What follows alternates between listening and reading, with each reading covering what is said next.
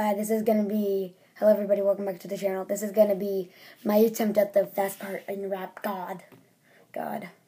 Uh, all right, let's just play this. I skipped to the part where it starts, so yep, let's just do that.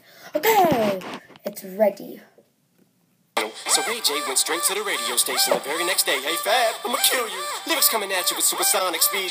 Uh, someone I'm doing, I'm a I'm a human, what I gotta do to get it to you, superhuman, innovative, and a matter of something, anything you say is ricocheting off of me. I'm never stating more than ever demonstrating how to give a motherfucking audience a feeling like it's levitating, never fading, and another hit is forever waiting for the day that they can say I fell up to be celebrating, cause another way to get it motivated, I make elevating music, you make elevating music. Oh, he's too mainstream. Well, that's what. Alright, we're gonna do this one more time, so yeah. We're gonna do this just one more time, guys. So you're done. on the cable channel. So Ray J went straight to the radio station the very next day. Hey Fab, I'ma kill you. Lyrics coming at you with supersonic speed. Uh, someone I'm a human, I'm a human, someone I'm a human, what I gotta do to get it to you, superhuman, innovative, and a matter of something, anything you say is ricocheting off of me.